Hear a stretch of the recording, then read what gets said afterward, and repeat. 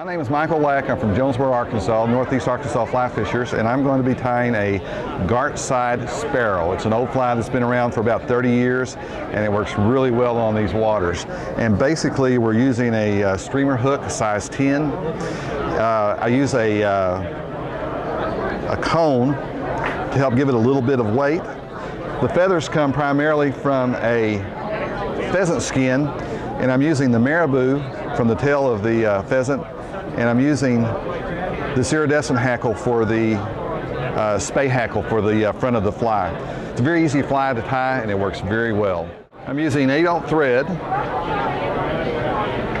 and just laying down a thread base to the back of the hook.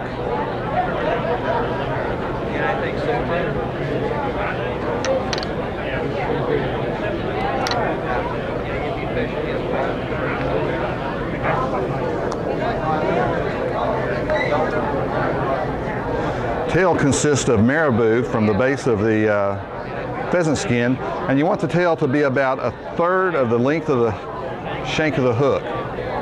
Not quite as long as a woolly bugger tail. Oh yeah, I've done it twice so far.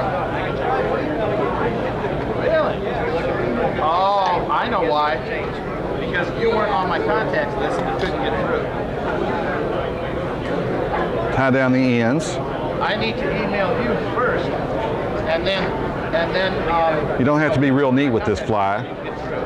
The body is dubbing. You can use any color you like. I'm going to use a green dubbing today. And you make a dubbing noodle onto your thread.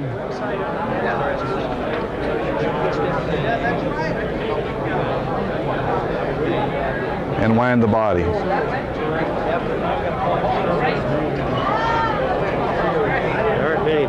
People that can handle noodle. No, um, Dave Whitlock did it like this, and rather than twist it around, each time you go around, it makes a half loop turn, and it makes a fairly tight, yeah. easy, quick body.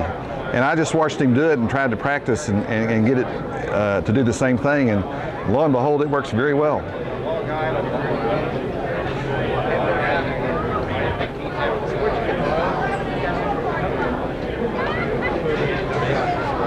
Because I sometimes break my thread, I always tie my thread off just as a security measure.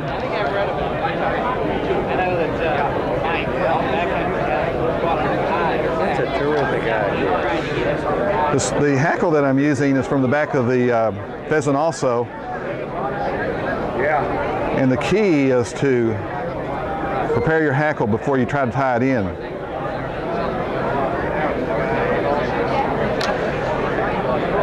It has a dull side and it has a shiny side, and it folds much better if you put the dull side on top.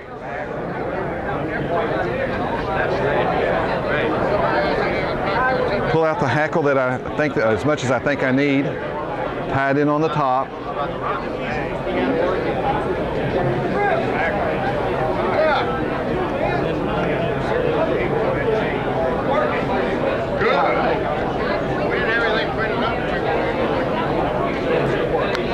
Oh, there it is. There it is.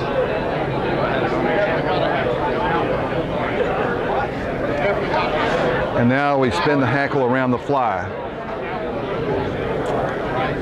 Hackle's folded back. See how nicely that folded? And then you just bring it around. Keep it folded back. One in front of the other.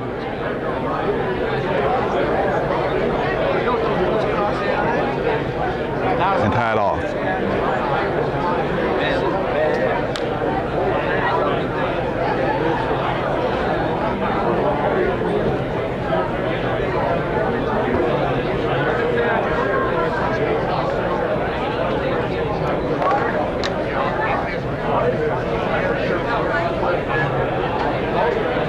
I didn't realize you tied the long. This particular fly you do. On a soft hackle you wouldn't, but in this particular fly you do.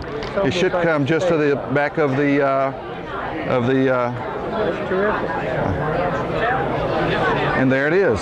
And if you get it splayed out right, it looks Yeah. just like that. Okay, it's my version of the uh, Gartside Sparrow.